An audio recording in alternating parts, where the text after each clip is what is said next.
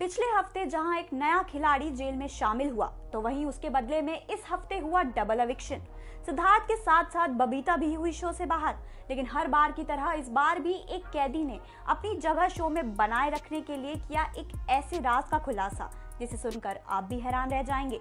तो एक तरफ़ वीकेंड के दौरान कंगना ने किया द कश्मीर फाइल्स का ज़िक्र, जिसे सुनकर मुनव्वर का चेहरा उतर गया।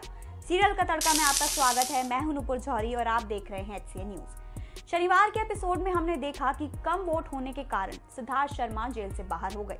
तो वहीं रविवार के एपिसोड में डबल एविक्शन बबीता फोगाट को अपना सफ़र यहीं खत्म करना पड़ा। कंगना के बैड एस जेल में कभी भी कुछ भी हो सकता है।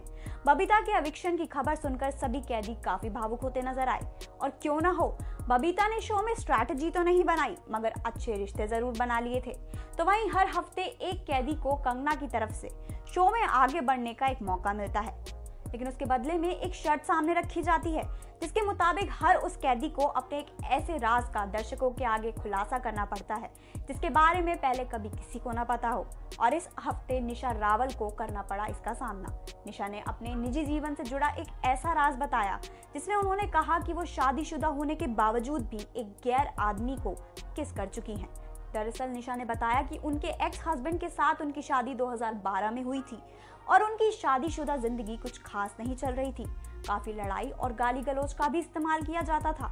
उसी दौरान निशा काफ़ी डिप्रेस चल रही थी। वो अपनी किसी दोस्त की हल्दी में अपने पुराने दोस्त से मिली और अपने साथ हो रही उन परेशानियों के बारे में उन्हें बताया। कुछ समय बाद वो उनसे इमोशनली काफ़ी अटैच हो गई थी, जिसकी वजह से उन्होंने उनके साथ किस किया।